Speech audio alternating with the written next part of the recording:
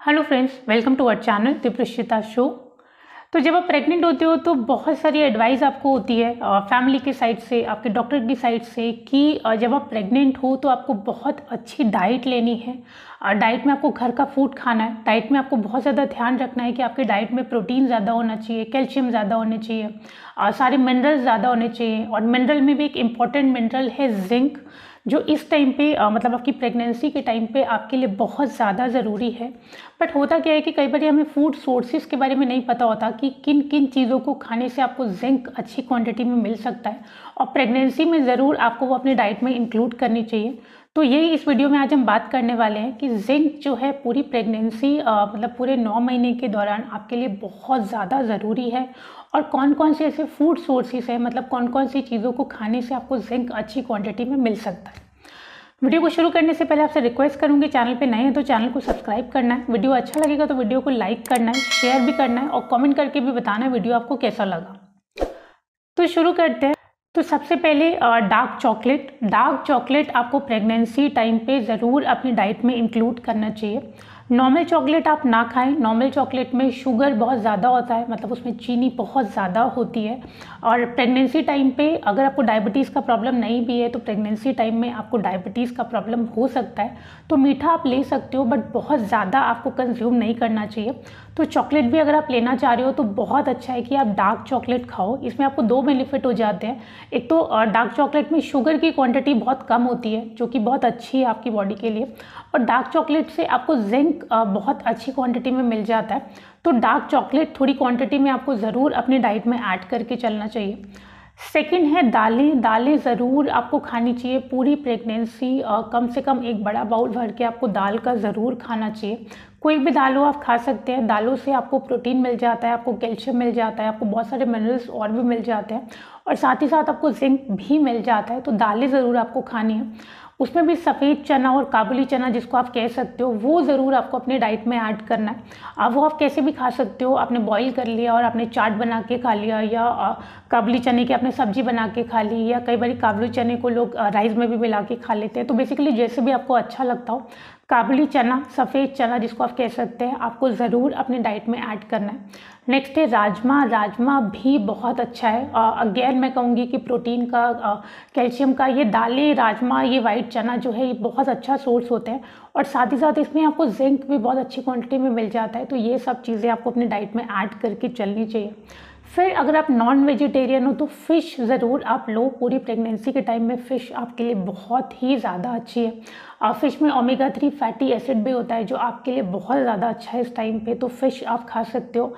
Egg ज़रूर आपको लेना है इस टाइम पे। एग से भी आपको जिंक मिल जाता है। एग आप डेली भी खा सकते हो। एग आप किसी भी फॉर्म में खा सकते हो। आप बॉयल एग खा सकते हो। आप ऑमलेट खा सकते हो। आप एग करी खा सकते हो या एग जिस भी फॉर्म में आपको अच्छा लगता है बेसिकली बस ये ध्यान रखना है कि एग जो आप ले रहे हो वो रॉ एग आपको नहीं खाना। मतलब आ, कई बार क्या होता है हमने पैन में बस अंडे को फोड़ा और आ, जो आधा कच्चा पक्का सा अंडा होता है वो हम कई बार खा लेते हैं। बट प्रेगनेंसी टाइम पे आपको ये नहीं करना। प्रेगनेंसी टाइम में आप एग ज़रूर खाओ, वो आपकी प्रेगनेंसी में बहुत अच्छा है। लेकिन अंडा बहुत अच्छे से पका हुआ होना चाहिए। अच्छा है कि आप बॉयल एग खाओ, जो बहुत अच्छे से पक जाता है। और आप उसको अपनी डाइट में ऐड करो तो वो आपके लिए बहुत ज़्यादा अच्छा है।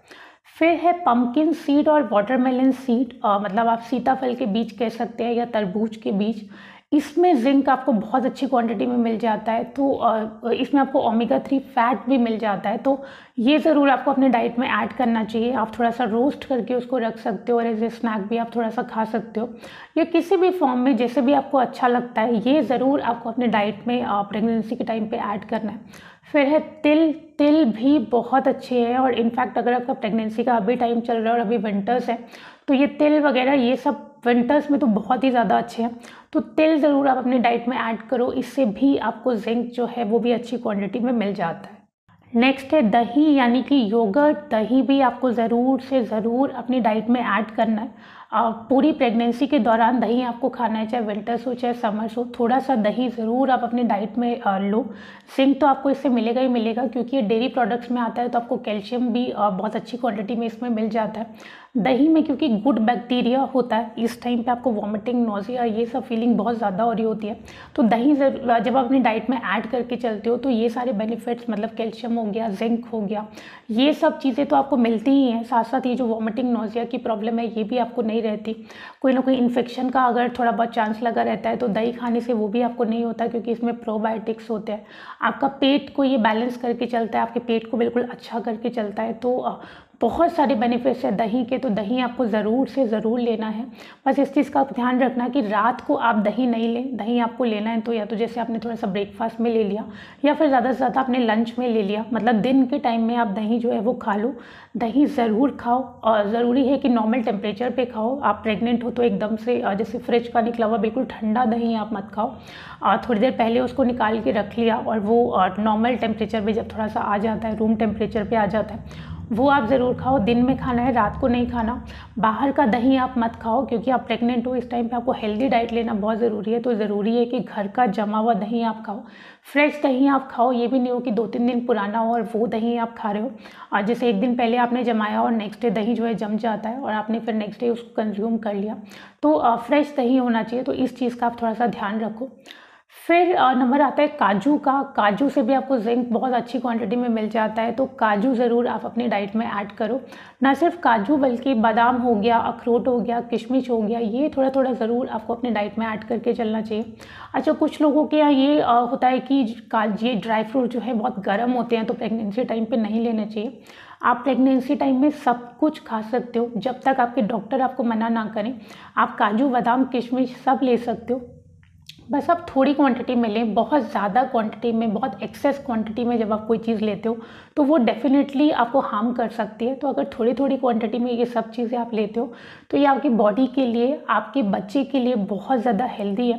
तो ये जितने भी चीज़ें मैंने आपको बताई, इससे जिंक आपको बहुत अच्छी क्वान्टिटी में मिल जाता है और ना सिर्फ़ जिंक बाकी मिनरल्स भी, जैसे प्रोटीन कैल्शियम ये सब चीज़ें भी आपको मिल जाती हैं। तो ये ज़रूर आपको अपनी डाइट में ऐड करके चलना चाहिए। अच्छा फिर एक क्वेश्चन होता है कि ये सारी डाइट आप ले रहे हो, जिसमें जिंक आपको अच्छी क्वांटिटी में मिल रहा है। तो क्या सप्लीमेंट्स लेने की ज़रूरत है? क्योंकि जिंक जो है प्रेगनेंसी टाइम पे बहुत ज़्यादा ज़रूरी होता है। तो सप्लीमेंट्स की रिक्वायरमेंट है या नहीं? तो ये डाइट में आप ऐड करके चलो, एक बार अपने डॉक्टर से बात कर लो कि ये ये चीज़ें आप अपने डाइट में ले रहे हो। और फिर भी अगर आपके डॉक्टर को लगता है कि आपको जिंक सप्लीमेंट्स लेने चाहिए तो अगर आप आपको कह रहे हैं कि आपको जिंक सप्लीमेंट्स लेना है और जो भी सप्लीमेंट्स वो आपको बता रहे हैं तो वो डेफिनेटली आपको लेने चाहिए बट ये सारी चीज़ें डाइट में भी आपको इंक्लूड करके चलनी चाहिए। फिर एक क्वेश्चन ये भी होता है कि जिंक अगर बहुत ज़्यादा हो जाए बॉडी में तो क्या उसका कोई प्रॉब्लम है? क्या उससे कुछ हार्म हो सकता है बॉडी को? तो जैसे कि मैंने आपको पहले भी बताया कि कोई भी चीज़ जब एक्सेस क्वांटिटी में, जब ज़्यादा क्वांटिटी में हो जाती है तो वो डेफिनेटली आपको हार्म करती है। जितना भी आप डाइट ले रहे हो, वो ठीक है बट सप्लीमेंट्स लेने से पहले उसका डोजेज वगैरह डॉक्टर से पूछना बहुत ज़रूरी है। क्योंकि जब ज़्यादा हो जाता है बॉडी में तो स्पेशली जब आप प्रेग्नेंट हो तो आपको वॉमिटिंग का प्रॉब्लम हो सकता है, आपको नोजिया का प्रॉब्लम हो सकता है आपको डायरिया का मतलब आपको लूज मोशन का प्रॉब्लम हो सकता है, आपके पेट में दर्द हो सकता है, क्योंकि प्रेगनेंसी टाइम पे ये चीज़ें वैसे ही बहुत कॉमन होती है वॉमिटिंग एंड नोजिया और डायरिया। जब आप जिंक बहुत ज़्यादा क्वांटिटी में ले लोगे तो ये उसको बढ़ा सकता है। तो बहुत ज़रूरी है कि अगर आप जिंक सप्लीमेंट्स ले रहे हो, आपके डॉक्टर की एडवाइस पे लें, आपके डॉक्टर ने जितना डोज बताया उसके डोज के अकॉर्डिंग लें। जो भी ब्रांड या जो भी उन्होंने सजेस्ट किया है, उसके अकॉर्डिंग ही लें। सप्लीमेंट्स आप अपनी मर्ज़ी से बिल्कुल ना लें।